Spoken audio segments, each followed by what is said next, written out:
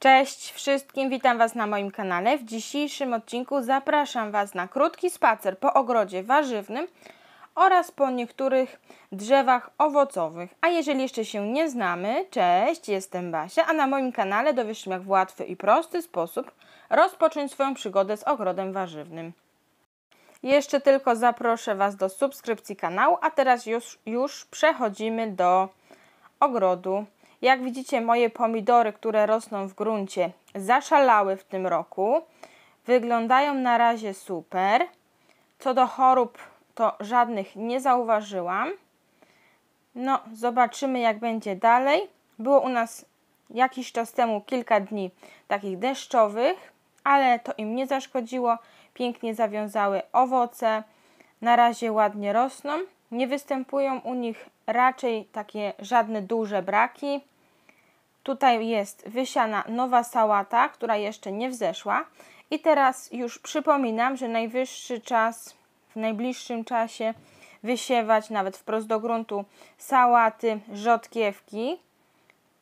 Tutaj jak widzicie mój pomidor jest troszkę uszkodzony, ale to jest uszkodzenie mechaniczne. Takie plamki na pomidorach. No tutaj jest zjedzony mój burak liściowy przez sarnę. Potrafiła przyjść tak daleko, więc już niedługo planujemy zrobić płot, ogrodzenie, więc jeżeli jesteście ciekawi, jak zamierzam walczyć z sarną, to zachęcam do subskrypcji. Na kanale będzie filmik na taki tani, w miarę tani, ale solidny płot. Tutaj jest dużo pomidorków takich mniejszych, koktajlowych. Postanowiłam tak to podzielić, że w szklarni będą wysokie, chociaż i tak dwa udały mi się niskie. Tutaj jest pasternak, a tutaj są pory. I co do porów, tak, tutaj są dwie różne partie porów. Te duże to są pory, które wysadzaliśmy razem do gruntu bardzo dawno temu, a te mniejsze to są pory z rozsady robionej nie tak dawno, myślę, że w ciągu ostatniego miesiąca. I wysadziłam je niedawno do gruntu. Super na chwilę obecną rosną, wszystkie się przyjęły. Tutaj są jeszcze moje pietruszki, korzeniowe, które o dziwo jeszcze, jeszcze są, jeszcze je widać nawet. Ale tak naprawdę w przyszłym roku pójdę w większą ilość pasternaku. Tutaj są moje papryki. Jeszcze później na e, filmiku będą papryki. Ale co do tego, dlaczego chcę iść w pasternak, a nie pietruszkę korzeniową. Bynajmniej u mnie ta pietruszka korzeniowa w tym roku totalny nie wypał. Wyszło, wzeszło kilka roślin dosłownie a jednak pietruszkę lubimy do zup i różnych innych dań, więc postanowiłam, że w przyszłym sezonie jednak wysieję więcej pasternaku. Oczywiście z pietruszką się nie poddaję. Będę siała dużo pietruszki naciowej, bo nać jest też dla nas ważna. Ale co do tego pasternaku, no jednak pasternak ma też bardzo fajny smak, dla nas bynajmniej więc będzie dla mnie fajnym zamiennikiem dla pietruszki korzeniowej. W pasternaku nie jemy liści, ale no coś za coś. Te, ten pasternak rośnie bardzo długi, um, bynajmniej u mnie, więc mam nadzieję, że jak on sobie jeszcze podrośnie, to będzie taki duży, dorodny, więc mam nadzieję, że będą fajne zbiory później. Już kilka pasternaków zjedliśmy, bo przerywałam, aby inne miały miejsce rosnąć. Tutaj kolejne pomidorki. No jest naprawdę gąszcz tych pomidorów. No staram się obcinać te liście, które zbyt bardzo przeszkadzają lub mają jakąś zmianę na sobie.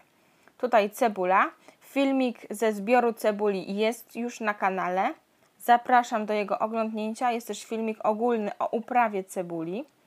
Tutaj pełno cebuli i marchewki więc y, super. Marchewka w tym roku urosła piękna. Jak widzicie braki cebulowe lub marchewkowe, to tylko dlatego, że po prostu zbieram systematycznie, też zbierałam część już cebul. Na pewno jeszcze więcej tych cebul nie będzie. Będę starała się zbierać te, które już tego wymagają. Teraz pokażę Wam moją fasolę. Fasolka to jest tyczna. Urosła bardzo piękna, super zawiązuję już strączki. No, jak widać, zaatakowała mojego całego wigwama. Za niedługo czekam, aż przerośnie go. Wygląda ślicznie. Jest to jedna z najfajniejszych odmian y, jeżeli chodzi aktualnie, teraz tylko mogę tyle powiedzieć, o wygląd. Co do pozostałych moich wigwamów, no to na kanale będzie za niedługo filmik o końcu uprawy groszku cukrowego, więc też zapraszam Was na ten odcinek. Ta fasolka rośnie pięknie.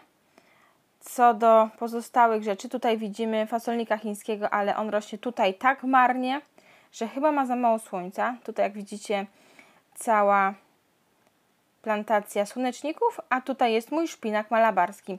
Z dnia na dzień już teraz jest coraz ładniejszy. Jeżeli tak dalej pójdzie, to mam nadzieję, że faktycznie zarośnie cały wigwam. Na to liczę. Ja oczywiście jak zwykle wszystko u mnie zarośnięte i plewie tak z doskoku. No ale wiadomo, teraz są takie upały, że nawet człowiekowi nie chce się wychodzić z domu, a co dopiero siedzieć w pełnym słońcu. Piszcie w komentarzach, jak tam Wasze szpinaki malabarskie. Tutaj kolejna te mini skrzynki, w których miałam sałaty i jak widzicie sałaty pięknie będą kwitły, więc pozbieram sobie nasiona. A teraz tutaj kolejny rzut sałat, który wysiewam tak po prostu rzutowo. Jak będzie ich za dużo, to będę przepikowywać do innych skrzynek, w których są braki. To jest pomidor zapomniany, który wygląda najgorzej ze wszystkich. A tutaj mój bakłażan. Powiem Wam, że bakłażan wygląda no super. Jestem zdziwiona, że tak pięknie wyrósł. Był po prostu, no po prostu była czarna rozpacz nad nim. Był tak strasznie zjedzony przez przędziorka. Potem był przesuszony. Jak trafił do gruntu, to trochę go tak wtedy wygibało, że tak powiem. Tutaj jest rzodkiewka, bo były wtedy bardzo silne wiatry, jak sadziłam do gruntu. Przypominam, siejemy już rzodkiewki na taki późniejszy zbiór. Można teraz, można jeszcze poczekać tydzień, dwa, można poczekać do końca sierpnia też. Ja wysiałam, zobaczymy, co z tego będzie. No tutaj też moje cebule, pietruszka oraz marchewka. W tej skrzyni najwięcej marchewek wyjedliśmy, ponieważ tutaj są największe. Bardzo fajna odmiana, ale no, jak już wspominałam, nazwy nie pamiętam. Jak widzicie, braki już cebulowe coraz większe. Filmik ten nagrywałam na przestrzeni dwóch dni, to dlatego. Tutaj wysypałam w pomidorach mączkę bazaltową. Jest to fajny, naturalny nawóz. Jest filmik na kanale o jego o zastosowaniu mączki bazaltowej, o ogólnych zaletach, więc polecam. Potem jak będę podlewać porządnie pomidory, to ta mączka bazaltowa rozejdzie się po całej skrzynce. No bo te skrzynki jednak mam pod niewielkim skosem, więc wszystko spłynie też w dół. Nie tylko zostanie u góry. Tutaj tak samo. Dałam mączkę bazaltową dla papryk. W tej mączce, w tym nawozie naturalnym nie ma azotu, więc to nie przeszkadza. Jest za to dużo innych mikro i makroelementów. Liczę na to, że dzięki temu papryki pięknie zaczną dojrzewać. Jak widzicie, no ostatnim czasem bardzo ładnie rosną, ruszyły. Też wyglądały dość marnie, bo też większość z tych papryk była zaatakowana przez przędziorka.